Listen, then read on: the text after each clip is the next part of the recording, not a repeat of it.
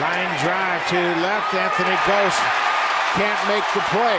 Rasmus fields it quickly, gets it back to the infield, and now they've got a shot at Chris Davis, and he'll be tagged out. So Davis gets a base hit off the glove of Anthony Gose. And the Orioles add an insurance run, home run. Ryan Flaherty makes it 3 0.